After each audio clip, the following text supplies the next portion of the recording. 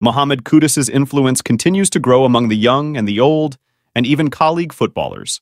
His latest goal celebration has been trending for the past few days after it was reproduced by several players across the globe. A young West Ham fan, after scoring a goal while playing at home, is seen picking a chair to hit the celebration.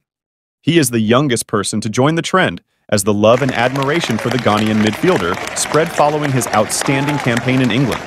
Kudus, who joined the Hammers in the summer transfer window from Ajax, has become the toast of fans at the London Olympic Stadium. In his maiden season, the 23-year-old has already netted 11 goals oh, and provided over. four assists across all competitions for the Clarets.